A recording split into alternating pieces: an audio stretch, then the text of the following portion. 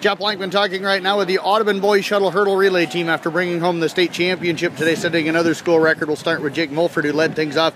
Jake, uh, just want to get your feelings here today. How did you feel coming out of the blocks? I felt good as usual. I get out of the blocks really well. I came out, I was even with everybody, and then I just went out there, ran my race, and I felt comfortable until about seventh hurdle. Then I hit one with my knee, but I, I felt like I got control of that really well, and I finished the race. What was it like watching the rest of the guys go?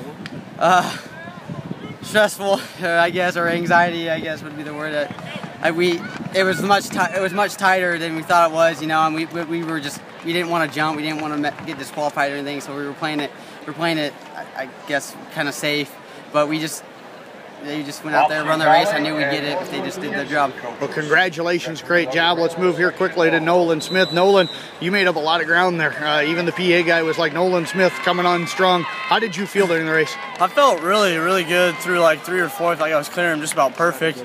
Really, I could see myself closing on the ground, but then. I don't. know, I don't think I got tired. It was just I just I started getting a little bit higher. I could feel myself. I told myself to get down, and I finished strong. I think.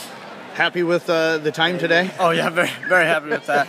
Would have been nice to break 59, but I mean, whatever. It's a state championship and another school record, so I'm, I'm very happy. They still think it's the haircut that, that helped oh, you yeah, guys down definitely. here. Aerodynamics. Let's move over to Tyler Riebhoff here. Uh, Tyler ran the third leg today. Nolan kind of got you right back in it. Not that you weren't in it, but uh, you guys were in the lead when you got it. Did you feel any pressure when you came him run, saw him coming towards you? Uh, yeah, it was definitely boom boom right away at the start, and I think having that kid right there next to me the whole way really pushed me to do my best. And uh, I was pretty confident if I could get it to Mitchell within a step, we'd have a really good shot. Do you feel like you ran your best race today? I definitely think I do. I, in prelims, I ran a lot better than I thought I had in me. And uh, hopefully I improved on that tonight or today. That'd be really awesome, but uh, we'll see. But congratulations, Tyler. Appreciate you joining Let's Move over to the guy that ran the anchor leg. You were in second yeah. when you took off. What did you see in front of you and what thro- uh, through your mind?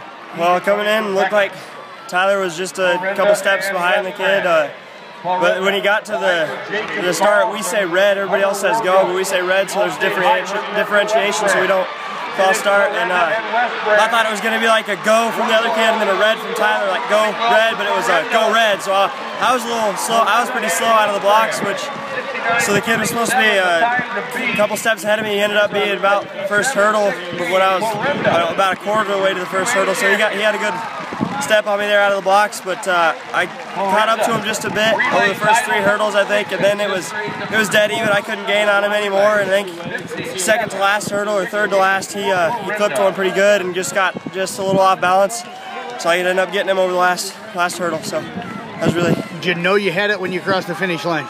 Yeah, I was pretty sure because I definitely knew I cro- I definitely didn't see him right next to me, so I thought I saw maybe his hand a little bit. So I thought my torso was definitely ahead of him, and we got a tenth, I think, on him. So. And you guys had been wanting this since last year. Does this give you the redemption of finishing second last year? Yeah, definitely. And uh, I feel for that guy clipping that hurdle because I clipped one last year, the last hurdle, and I thought I should have got Earlham last year. So you know, hopefully he's not a senior and he can come back and get his redemption next year like I did this year. So well, congratulations, Mitchell. Appreciate you joining us. Best of luck in the 110s. Thank you.